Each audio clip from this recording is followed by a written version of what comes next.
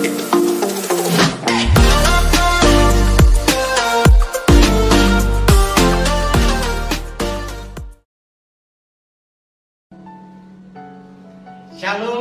shalom Bapak Ibu, saudaraku yang dikasih Tuhan Yesus Kristus.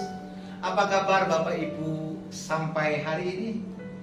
Saya berdoa damai sejahtera Allah di dalam nama Bapa, Putra dan Roh Kudus senantiasa melimpah atas kita, menimpa atas keluarga kita, penuh sukacita atas pekerjaan, usaha, bahkan anak cucu mantu kita ada dalam perlindungan Tuhan.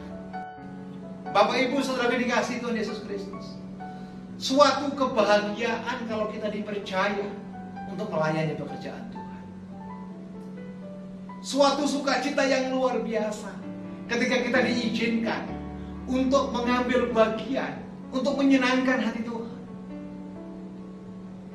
Adalah satu kehormatan yang luar biasa ketika kita dipercayakan untuk mengerjakan hal-hal yang Tuhan kehendaki untuk kita kerjakan.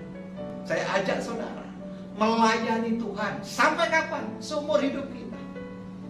Tidak hanya berhenti sampai di gereja, tetapi kita mulai dari rumah tangga kita. Dari kelompok kecil kita, komunitas kita.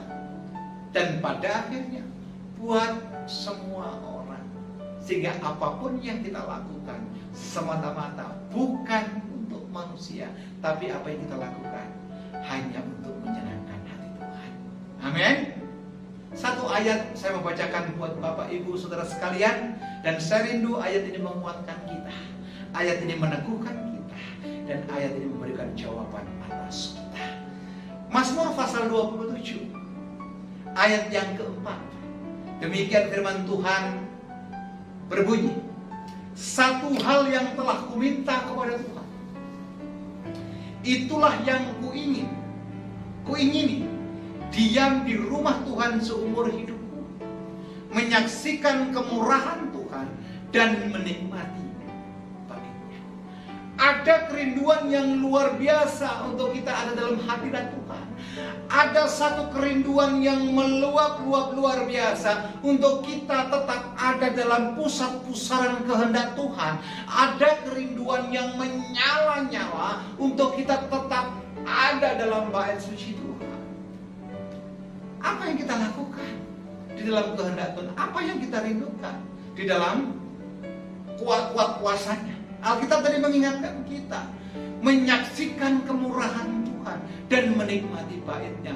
Di dalam bait Tuhan saudara dipuaskan. Di dalam bait Tuhan saudara mendapatkan sukacita. Di dalam pelayanan, di dalam kesungguhan kita di dalam melayani Kristus, saudara akan mendapatkan lawatan sukacita yang dunia tidak bisa berikan, tetapi Tuhan bisa berikan atas kita.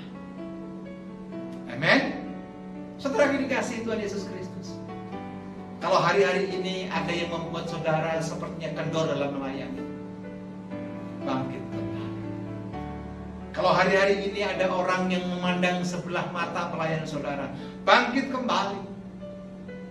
Kalau hari-hari ini pelayanan saudara sepertinya tidak dipandang penuh dan mendapatkan apresiasi, tetap lakukan dengan sukacita.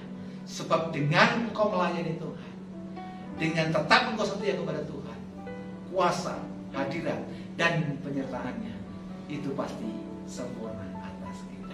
Berjalan hari ini bersama dengan Tuhan. Berjalan hari ini bersama dengan tuntunan Tuhan. Berjalan hari ini dengan tetap melayani Tuhan. Saudara akan kuat di dalam Tuhan. Mari kita datang kepada Tuhan, kita berdoa. Bapa Allah yang baik kami mengucap syukur kepadamu. Terima kasih buat firmanmu yang indah pagi ini. Terima kasih buat arahanmu dan terima kasih buat sapaanmu. Biarlah kami menikmati pelayanan kami, kami menikmati kebersamaan kami bersama dengan Engkau. Bersama-sama kami dengan teman-teman seiman. Terus melayani Engkau sampai seumur. Matraikan FirmanMu atas hidup kami, matraikan FirmanMu atas kebiasaan sehari-hari kami, dan jadikan FirmanMu, Kami jadikan FirmanMu pegangan atas hidup kami. Di dalam nama Yesus, Tuhan yang tidak pernah lalai menepati janjinya, kami berdoa dan mengucap syukur. Amin.